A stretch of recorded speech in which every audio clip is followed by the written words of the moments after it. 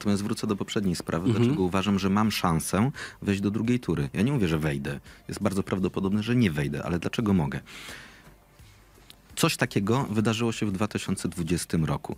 Jeszcze w styczniu 2020 roku Małgorzata Kidawa-Błońska miała 20% i pewne wejście do drugiej tury. Skończyła na 3% i ją wymienili na Rafała Trzaskowskiego. Tylko dlatego mogli ją wymienić, że akurat były te sprawy z wirusami, powtórzone wybory kopertowe i tak dalej. Teraz to oznacza, że jedna z dwóch największych w Polsce partii pomyliła się, wskazując kandydata.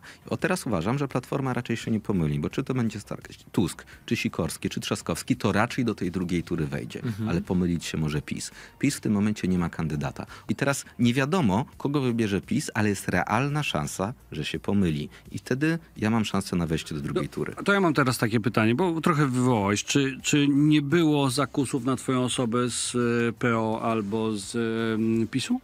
Co to znaczy zakusu? Takich, że przyszli i powiedzieli, a może Sławek do nas byś Że dołączył? inaczej odpowiem. Gdybym chciał, to już dawno byłbym w PiSie albo w Platformie. Oczywiście, że tak. Piotruś? Dobrze, w takim razie i Wałęsa mówił druga Japonia, druga Japonia. Czy ty masz jakąś taką wizję kraju, który według ciebie jest takim wzorem do naśladowania jeszcze? Czy w ogóle o krajach w Europie i w, na, na świecie możemy mówić, to jest dobrze zarządzany kraj? Wzorowo wręcz. całościowo nie.